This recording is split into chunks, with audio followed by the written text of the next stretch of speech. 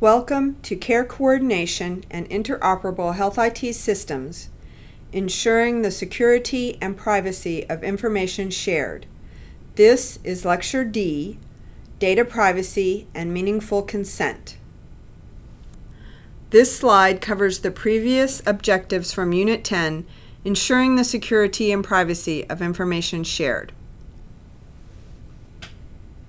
The objectives for Lecture D Data privacy and meaningful consent are to categorize privacy concerns appropriately, modify privacy and security policies and procedures for sensitive protected health information and other special considerations, and employ appropriate tools and methods to ensure privacy and security during care coordination processes. First, we will talk about types of interoperability consents. Typically, when we are talking about interoperability, it is in the case of a health information exchange, and health information exchanges usually have two types of consent models. One is opt-in, where the default is that the protected health information cannot be shared. The patient must actively express their consent in order for the information to be shared. The other is opt out, where the default is for protected health information to automatically be shared. Patients must actively express their desire to not have information shared if they wish to prevent sharing. These models differ from health information exchange to health information exchange and from state to state, even region to region in a given geographical area. There are even different levels of access. So, for example, different health information exchanges may allow full access or the entire record on an opt out model meaning that the default is for the entire health record, all of the protected health information to be shared for a health information exchange. Others may access on a limited model, meaning that only certain data elements will automatically be shared, and additional data must be actively requested before being shared. And of course, there is always the option to not share any information. Thus, this is a very complex area, and you need to understand the health information exchange that you are working with and its requirements. Additionally, more information can be found on the website on choice of consent models listed on the reference slide at the end of this lecture. Data segmentation is classifying data for privacy. It is the electronic labeling or tagging of a patient's health information so that consumers or providers can electronically share different parts, but not all, of the patient record. This can help providers understand if the information they are sharing is subject to restrictions, i.e., in the case of mental health, substance abuse, or genetic information. It can also help give patients more controlled or a detailed choice for determining which part of their health information they want shared by their health providers. Data segmentation is very important for ensuring that consumers control their data. Data segmentation for privacy, or DS4P, is a community of experts including software developers, healthcare providers, patient advocates, and health informaticists working on an implementation guide for HL7 around data segmentation. They are specifically looking at security labels for data attributes. So the first four security label fields are assessments based only upon the content of the resource, such as the clinical facts to which the security label is assigned. The handling caveat security label field may also convey privacy marks that are to be rendered when the labeled information is accessed. There are people actively working on coming up with a method to label the data, so everyone knows what types of privacy controls need to be applied to that data. When we look at the data segmentation tags that were covered on the previous screen, we find these are some different values for them.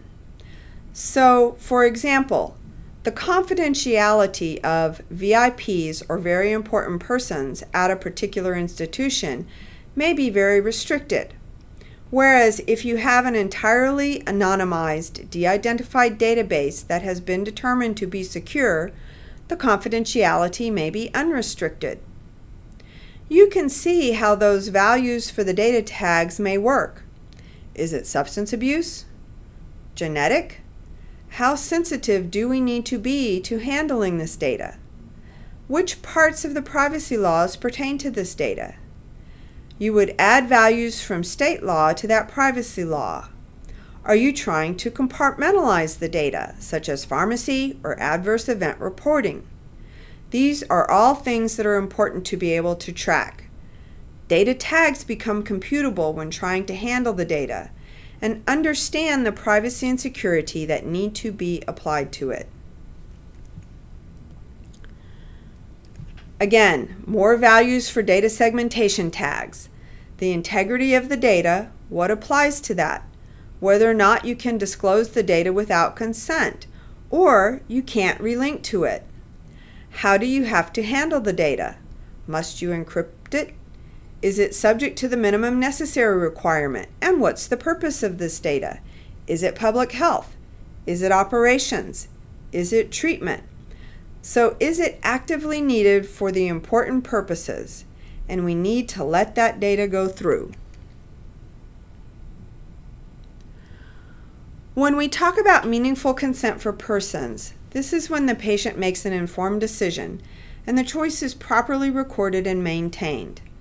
So, specifically, meaningful consent has six aspects.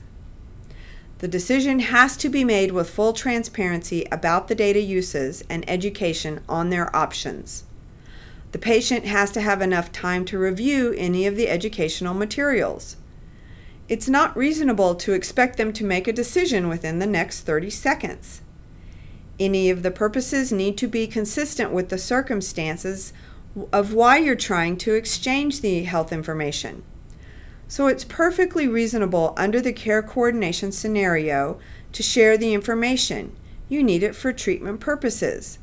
Getting consent for health information exchange cannot be used as a condition for treatment or discrimination against a person. That goes against allowing them to have responsibility for their decisions. It needs to be consistent with their expectations of what is going to or what needs to happen with their data and information, and this may differ from patient to patient. Some patients may be more reticent to share their data. Other patients will be very willing to have their data shared. And any consent to share data has to be able to be revoked at any time. There's a website in the references slide of this lecture that has more information available. So what are some tools for privacy and security and care coordination? First of all, the Office of the National Coordinator has provided an e-consent toolkit for all healthcare organizations that are seeking patient consent for the sharing of data. A link to that website is found, again, at the end of this lecture on the references slide. There are videos related to an e-consent trial project where electronic consents were pilot tested and persons chose to share their experiences with the e-consent. So you can look at what other people have learned and learn from their experiences. The Office of the National Coordinator also has modeled notices of privacy practices, both for paper records and for digital records. That's available on their website. Again, that link is at the end of this lecture on the references slide. This concludes Lecture D, Data Privacy and Meaningful Consent of Unit 10, Ensuring the Security and Privacy of Information Shared. In summary, different types of data, substance abuse, mental health, genetic, and others, may be subject to different laws and regulations, and that has to be respected in order to ensure compliance with these laws and to garner patient trust in the process. The data has to be classified and segmented, and we have to develop ways to deal with this in an automated fashion. Standards for healthcare data segmentation have been developed and are currently being implemented. Tools for ensuring the privacy and security of protected health information during care coordination processes are available on the Office of the National Coordinator website. This concludes Unit 10, Ensuring the Security and Privacy of Information Shared. To summarize, while privacy is an important social value, effectively coordinating care does require the sharing of protected health information. There is simply no other way to do it. However, to have that essential consumer trust, you must utilize appropriate technologies such as encryption and other protective technologies. Implementing data provenance and data segmentation will contribute to increased trust. Developments in this area are ongoing and will continue to evolve over time. Finally, not all data is equal, and there are now systems and tools to segment data by type or by use. It's our obligation as healthcare providers to ensure this level of trust for our clients. Thank you for your attention.